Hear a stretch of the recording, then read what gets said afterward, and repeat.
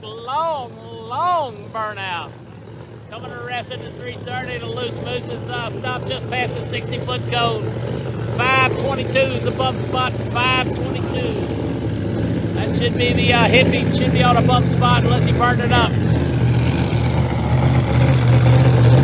Alrighty, come on over. It's gonna be a great show tonight once the sun goes down.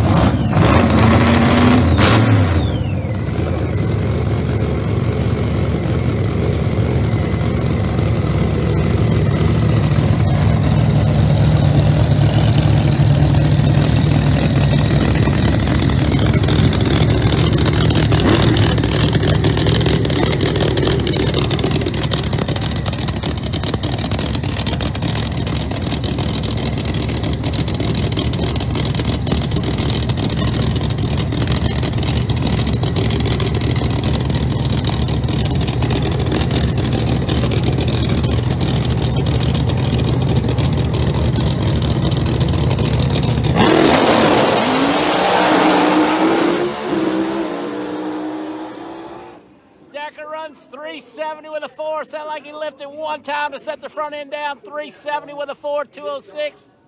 Zalax with a pedal job over there runs 415, 183. Once again, Mike Decker Jr. solidly in the field. 370 with a four, 206. Maybe lifted one time to set the front end down a half track. 370 with a four for Decker, 415 for Zalax. All right, Robbie Honeycutt in the Black Hammer Far Lanes. Sandy Wilkins Motorsports horsepower under the hood.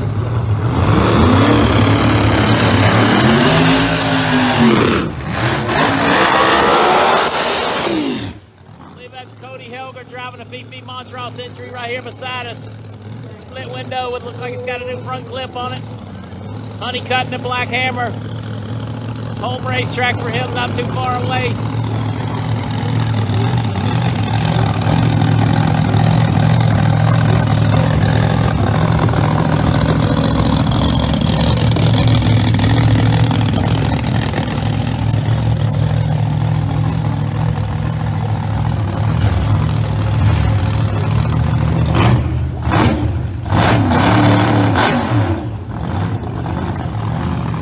Once again, Cody Helger us. Rob Honeycutt, the GT500 Black Hammer Far Lane.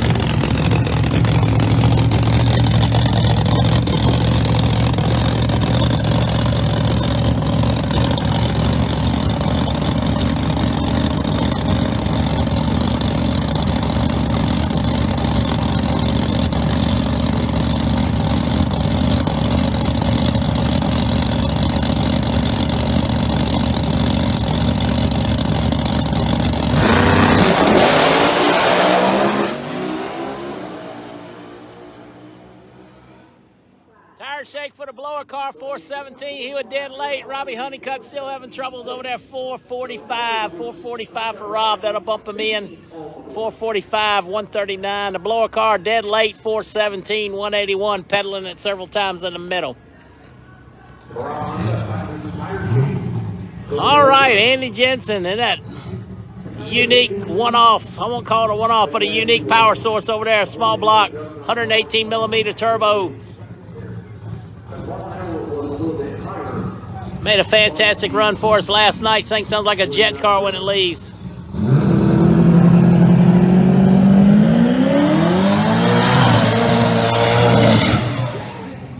Once again, that's a small block, single turbo machine.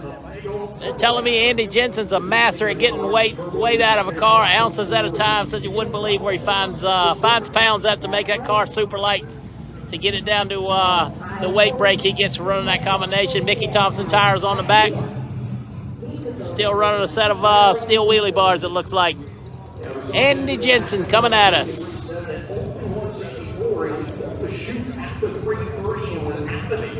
And what surprised many of us to see that type of number up on the board. So we're going to find out here how will Jensen fare if he makes the full pull here. If he makes it past the 330, take whole run. Saint sound like a daggone jet car leaving last night. Yeah, one of my favorite cars as well. Where will he put himself if he makes a full run? Could we see a 60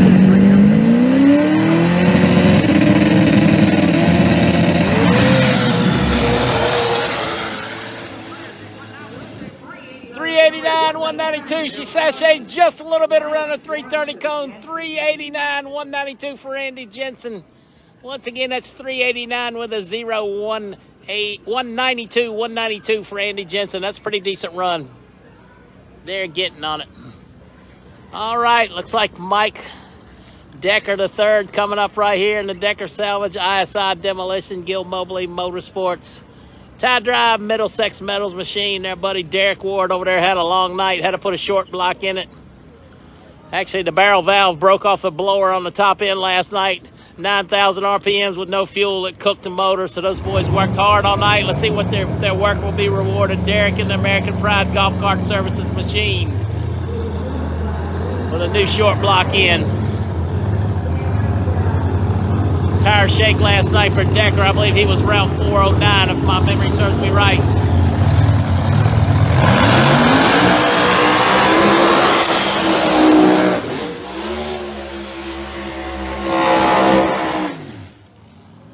Once again, Derek and his boys with a long night over there at 2, 3 o'clock in the morning, up early finish up today. Another short block in the car, went through the whole drivetrain. Had to do some work to the hat. Shout out to those boys over there at Derek Ward Racing, American Pride Golf Services Machine. What's up, West D?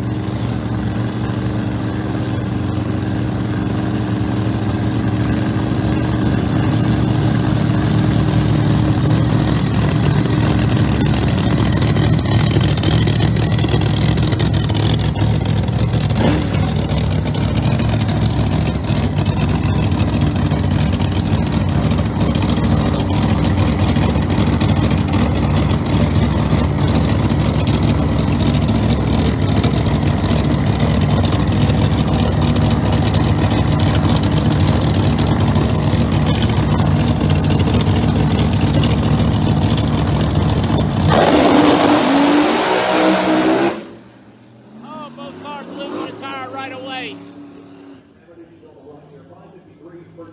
553 for Decker. He may have been slightly quicker than that last night. Derek's car lost the tire on a hit right away. Not sure what happened. 791. He'll have to go back to his time from last night. Still one more qualifying session to go today, late this afternoon, 3 o'clock, right in the dead heat. All righty, got a battle of a couple beautiful nitrous cars that are on the property at Maryland International Raceway. Matt D in the Scarpelli Mechanical, Yenko Camaro, Pat Musi Power. And of course, Freddie Scriba over there in the beautiful Sorcerer out of Baltimore, Maryland. Pat Musi Power on that as well. Tie Drive, five speed Liberty in the far lane. I believe Matty's still running a three speed over here.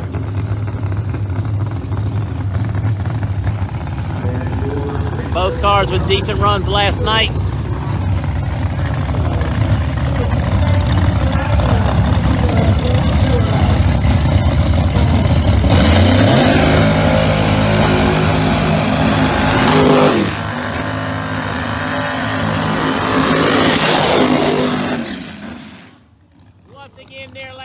50s. Driving a beautiful Yenko Camaro Scarpelli Mechanical Heating and Cooling Services on a rear quarter. And the beautiful Scriba machine, the Sorcerer Motorsports entry. Pat Musi Power, multiple stages of nitrous on both machines.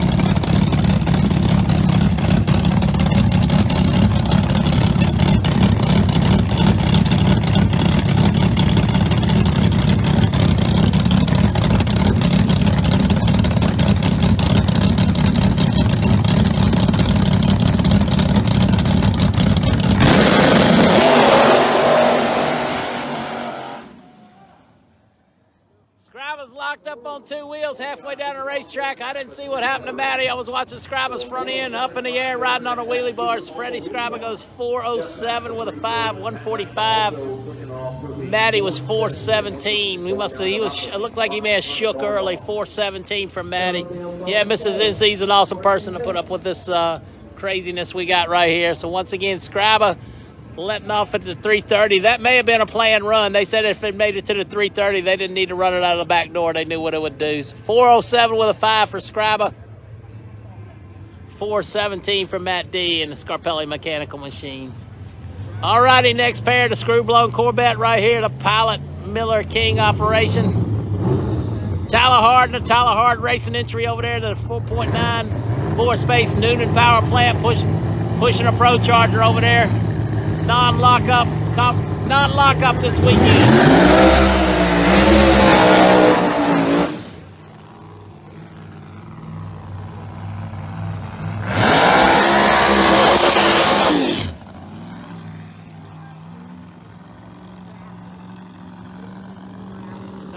Got that two-speed reverse as well. Was not a great burnout. Let's see if that hurts him.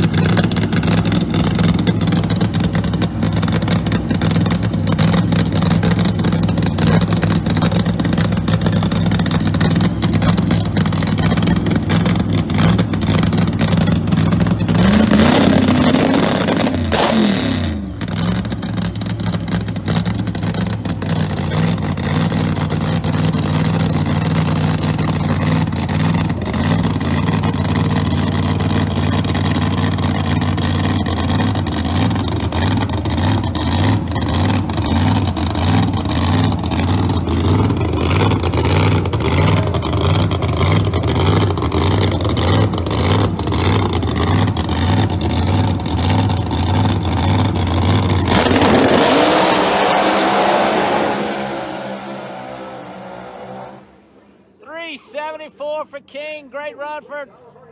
Hard over there in the far lane. 375 at 200.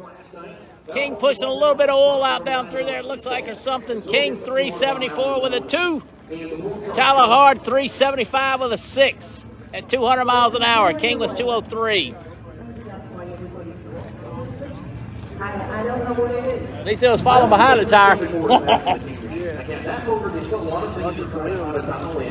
Maybe King was pushing out some fuel or something, not exactly sure. So a brand motor has two packs on it, they didn't get fired up, I don't think, after the shop. I think they put it in, loaded it up, brought it in. So there's really not a lot of data, there's still kind of, okay, let's clean this, just this, you know, types of things at this point. But keep an eye on that car show, I still think King will be one. Once again, Steve King, 374 with a two. He was dripping a little bit when he left. Luckily enough, the starter didn't see and shut him off. Thank goodness it was behind the wheel. Tyler Hard with a fantastic run over there in the Noonan Pro Charger, 375 at 200. They're getting that figured out. All right, a couple heavyweights here. Todd Moyer coming up in the Extreme Racing Engines Pro Charger machine. Dave Norris in the Crusher, former world champion want to give a shout out to Dave's mom and dad that are watching. Thanks for watching. Appreciate you supporting NC Pro Modder.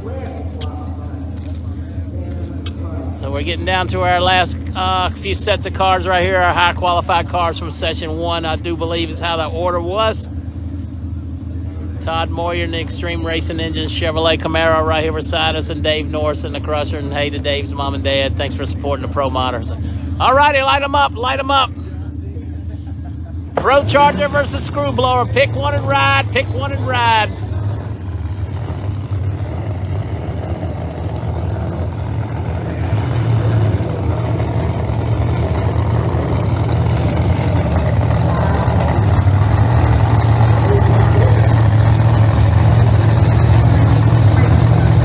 Yeah, that was a really good race.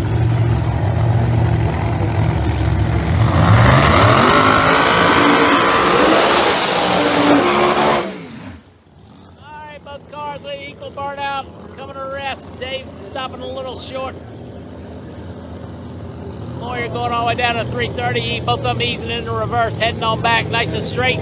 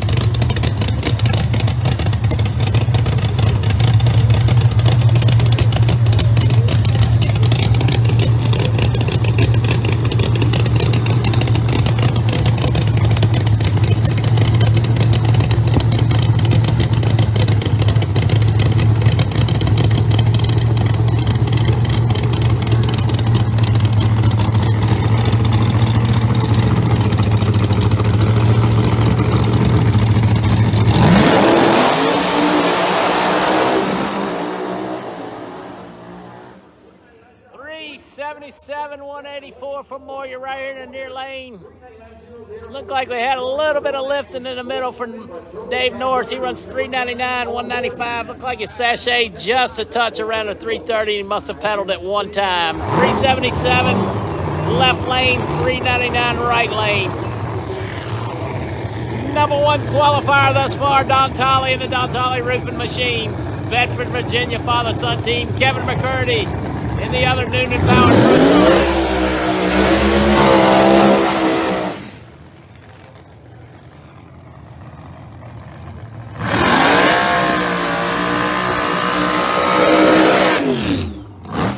I got my money on McCurdy. Any car on the property in reverse. First, second, third. Here he comes.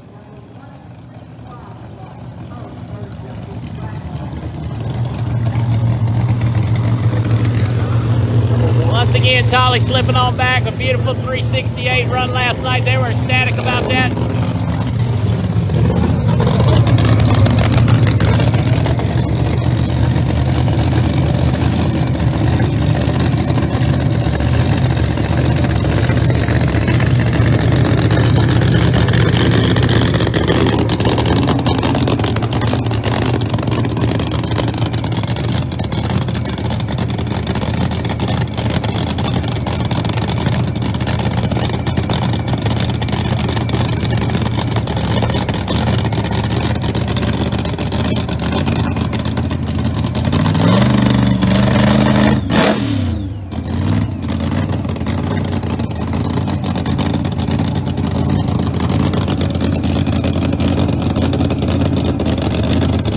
Yeah, my old stomping ground.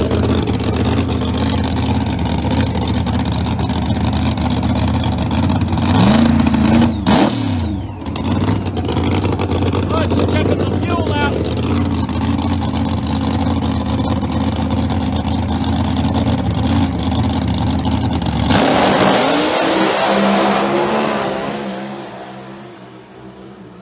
Three sixty-nine with an eight for Tolly.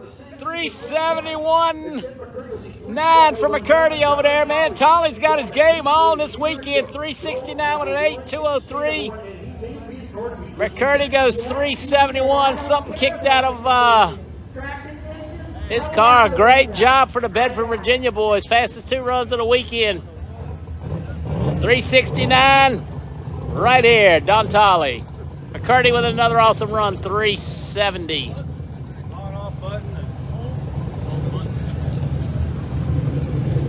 All right, the Savoy car, the beautiful uh, twin turbocharged Chevrolet Camaro Extreme Racing Engines gonna try to get down the racetrack tonight. Did not make it last night.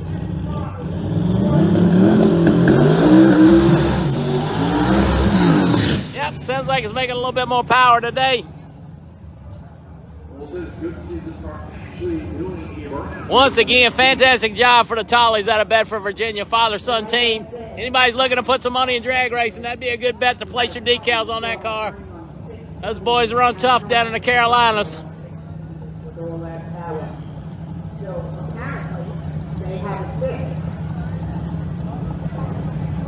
That's got to be one of the slickest bodied cars here, the uh, Savoy car, that twin turbocharged entry. Big old chop top, laid out, stretched out. That's the epitome of pro mod drag racing right there. Yep. Having trouble coming back. right, so Marcus Roy actually is in the process of making license runs here. Uh, so. Oh, Savoy's trying to make a license run. Look like he might not be going on. So he will be making license runs.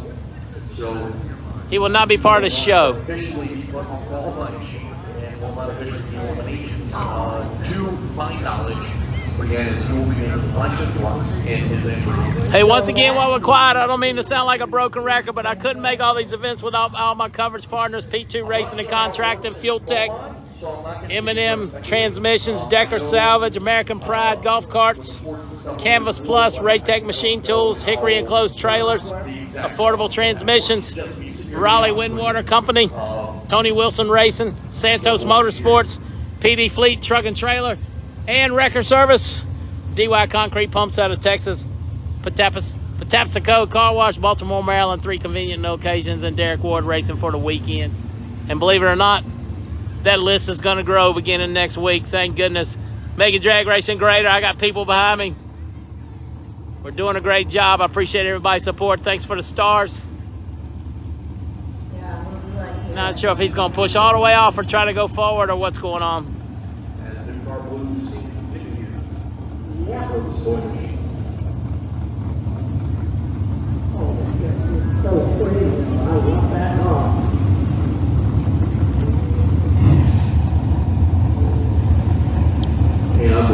Well, that looks like that's in the end of Q2. Don Tolley and the boys showing them how to do it.